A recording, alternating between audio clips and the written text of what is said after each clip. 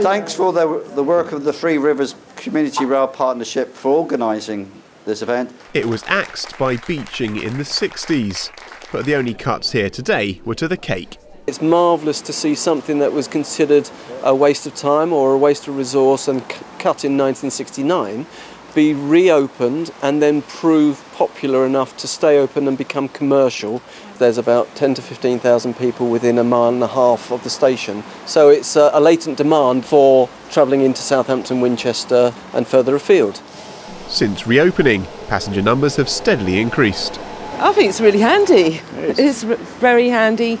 I mean, if it wasn't here, I think a lot of people would really miss it. So a lot of people do use it. yeah, a lot of people do. means we can have a drink.